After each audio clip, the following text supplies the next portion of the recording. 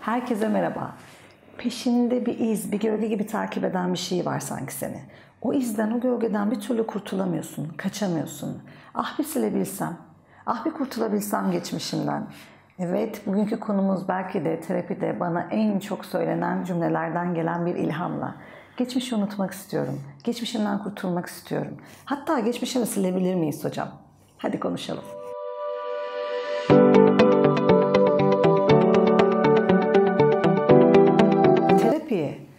Canını sıkan, seni çok yaralayan ya da canını çok acıtan bir şey için gelirsin. Acı dolu yaşantıyı ya da o acı dolu travmayı çözüp bir an önce kafanda halledip rafa kaldırmak istersin. Ya da tam tersi terapiye gelmeme nedenin, kendine ben iyiyim, yardıma ihtiyacım yok deme nedenin o acı dolu yaşantıları tekrar ön plana çıkarıp tekrar tekrar verici bir şekilde deneyimlememek içindir. Geçmişle yüzleşmek, terapinin her zaman en önemli konularından birisi. Bir şey seni seans odasına getirecek kadar rahatsız ediyorsa mutlaka önce geriye bakarız. Sonuçta bu kadar belirgin bir sorunun varsa mutlaka derinde kökleri vardır. Ama danışan genelde içeriye şöyle girer. Bu sorunu hallet, sil benim kafamdan. Öyle bir şey yap ki bir daha hatırlamayayım, bir daha üzerine düşünmeyeyim.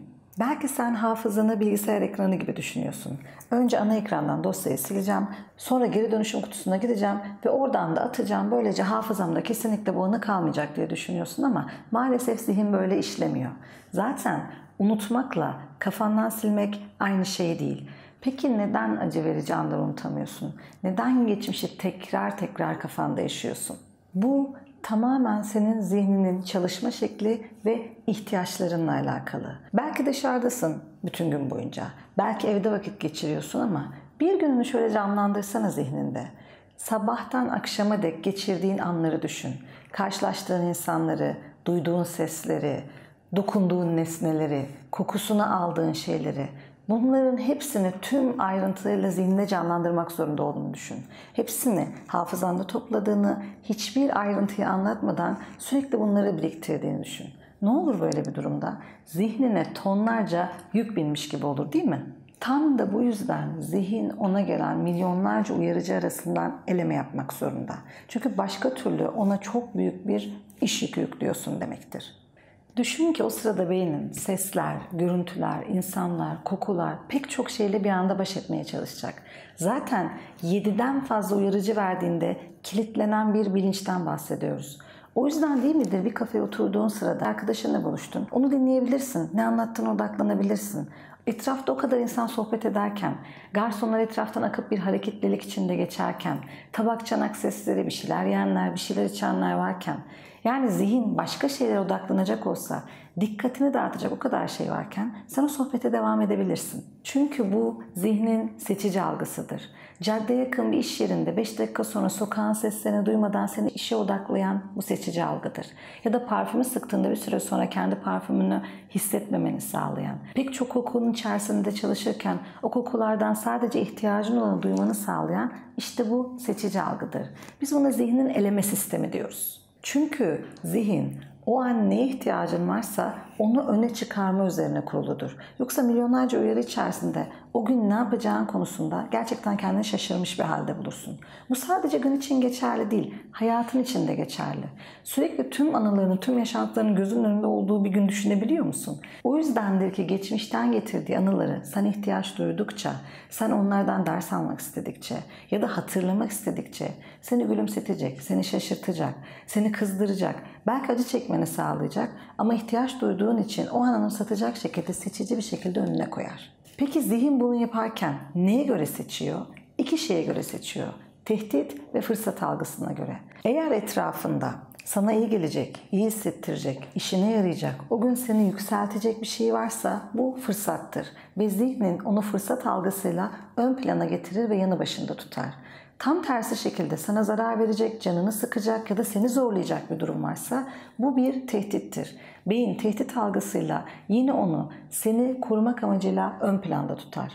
Bunun dışında kalan şeyler o gün ya amacına hizmet etmeyecek şeylerdir ya da sana bir fırsat doğurmayacak, canını sıkacak şekilde tehdit yaratmayacak şeylerdir. Beyin bunu etkisiz eleman olarak algılar ve o milyonlarca uyarıcı içerisinde onu nötrler, etkisiz elemanlar dosyasına koyarak uyarıcıların öne çıkarmasından dışarı atar. Yani anlayacağın artılar ve eksilerle çalışıyoruz. Bunun dışında ihtiyacımız olmayan şeyleri gereksizler, en azından şu an için gereksizler dosyasına kaldırıyor beynin. Neyin eksi, neyin artı olacağını belirleyen şey senin o anki istek, ihtiyaç, taleplerin. Bu talepler, istekler ve ihtiyaçlar doğrultusunda belirleniyor. Bu videoyu izlerken bile dikkatin, bu videoyu izlerken bile izleme amacın zaten ya buradan bir şey öğreneceğin ya da hayatında senin canı sıkan bir şey olduğun için buradan onu alıp yoluna devam etmen gerektiği duygun. Yani Burada bir fırsat görüyorsun ya da bir tehdide yönelik onu fırsata çevireceğin ya da onu nötrleştireceğin bir şey gördüğün için bu videodasın. Bu sistem tam olarak senin geçmiş yaşantılarınla da ilgili. Eğer bir anıyı tehdit algısına rağmen unutmuyor ve sürekli kafanda yaşatıyorsan, sana acı vermesine, canını sıkmasına, seni üzmesine, seni mahvetmesine rağmen hala gözünün önünde tutuyorsan o anı senin için nötr değildir. Eksileri ya da artılarıyla ya hizmet ettiği bir şey vardır ya da senin o anıyla ilgili bitmemiş işlerin vardır. Geçmişi unutamamak ister geçmişteki acı verici hatalarından, yaşantılarından, travmalarından kaynaklanıyor olsun. İster şimdiki andan dolayı memnuniyetsizliklerinden geçmişe dönüp bakıp sanki o zaman daha iyiydi demekten kaynaklanıyor olsun. Bir şeyler o zamanlarda bitmediği için şu anı zehirlediğini unutmaman gerekiyor. Evet geçmişte yaşıyorsun. Şu anı zaten kaçırıyorsun. Hatta belki gelecek planlarını donduruyor. Daha da kötüsü zehirliyorsun. Şöyle düşün. Geçmişte takılıp kaldığın yerden dolayı zinciri kopmuş bir bisiklet tekerleği gibi düşün. Sürekli boşa dönüyor ve sen olduğun yerde sayıyor gibisin. Geçmişi anlayıp incelemeden, onu analiz edip yoluna devam edemezsin. Evet bu kesinlikle doğru ama asla değiştiremeyeceğim bir zamanda bir takım değişiklikler yapmak istiyorum. Orayı düzeltmek istiyorum. O düzelmeden yoluma devam edemem diyorsan burada çok büyük bir yanlış var çıkamayacağın bir döngüdesin. Çünkü düzeltme şansın olmayan bir zamanda değişiklikler talep ediyorsun. Üzerine bir de o zamanı kurcaladıkça hissettiğin kızgınlık, kırgınlık, hayal kırıklığı, çaresizlik, üzüntü, öfke, suçluluk gibi duygularda cabası. Zihnin işleyişi artı ve eksileri ön plana çıkarmaksa ama bu sorun seni çok fazla rahatsız ediyorsa demek ki beynin için geçmişte yaşadığın şeyler, o canlı tuttuğun anıların hepsi birer tehdit. Yani beynin bu bir tehdit olduğu ve kendini korumak istediği için geçmişinde yaşadığın şeyleri gözünün önünden ayırmıyor. Ne demişler? Dostunu kendine yakın tut, düşmanını daha yakın. Aslında unutmak dediğimiz şey nedir biliyor musun? Beynin negatif anlamı olan bir şeyi nötr hale getirmesidir. Yani bir tehditi alır, inceler, onunla ilgili derslerini aldıktan sonra, onunla ilgili sorununu çözdükten sonra artık bu bir tehdit değil. Bunu gözümün önünde tutmama gerek yok der ve onu uygun bir şekilde dosyalayıp paketleyip bir güzel dosya dolabına kaldırır. Yani bir yerde elektrik çarpması tehdidi olduğunu düşün. İşte beynin o tehdidi nötr hale getirmesi topraklama yapmak gibi bir şeydir psikolojide. Aslında geçmişi aşmanın sana birkaç adımından bahsedebilirim. İlki tarih ve sosyolojinin temel ilkelerinden yararlanacaksın. Olayları olduğu zaman dilimi içerisinde değerlendireceksin. Çünkü geçmişi bugünün bakış açısıyla yargılayamazsın. Eğer bugünkü bakış açınla hatta eskilerin deyimiyle bugünkü aklınla yargılarsan bu sürekli keşke şunu yapsaydım, keşke bunu yapsaydım diye keşkelediğin ya da şöyle mi deseydim, böyle mi deseydim diye fantezik alternatif düşünceler geliştirdiğin bir durumda kısır döngü yaşamana neden olur. Kendine basit sorular sorarak başla. Bunu yaşadığında neredeydin? Nasıl bir ruh halin vardı? Belki öfkeliydin, belki çok acı bir kayıp yaşamıştın, Belki gereğinden fazla mutluydun, büyük sözler verecek haldeydin. Belki aşıktın, belki kızgındın. Kaç yaşındaydın? Olgun muydun mesela? Ya da çevresel şartların nelerdi? Belli bir baskıya maruz kalıyor muydun? Birilerini kurtarma peşinde miydin ya da birilerinden mi kaçıyordun? Şu anda olsa bu sorulara nasıl cevap verirsin? Eğer bu sorulara geçmişi ve şimdiyi kıyaslayacak şekilde cevap vermezsen olayı bugünkü aklında yorumlar. O zamanın şartlarını tamamen gözden kaçırır yaptığın hataları ya da yaşadığın travmayı ya da sana acı verici anları olduğundan çok daha ağır yorumladığın gibi sürekli kendini suçladığın, kendi hatalarını büyüttüğün bir döngüye girersin. Zaten geçmişin varlığını sürdürebilen en önemli şey olayları olduğu zamanda değerlendirememektir. Bunu yapmayı öğrenmen neden çok iyi olur biliyor musun? Çünkü bugünün kafasıyla geçmişi değerlendirdiğin zaman az önce söylediğim o keşkelere ve onun yerine bunu yapsaydımlara odaklanacaksın. Ama o zamanın sorularını kendine sorduğunda o kafayla ve o şartlarla elinden geleni yaptığını ya da yine olsa yine o kafayla aynı şeyi yaparım dediğini göreceksin belki de. Hatta şunu bile görebilirsin. Belki de olayların seninle hiç alakası yoktu. Hiç kontrol edebileceğin bir şey yoktu. Müdahale etsen dahi değiştirebileceğin hiçbir şey yoktu ve sen uzun süredir o geçmiş içinde yaşatırken asla değiştiremeyeceğin ve müdahale edemeyeceğin bir zaman dilimi için acı çekiyorsun.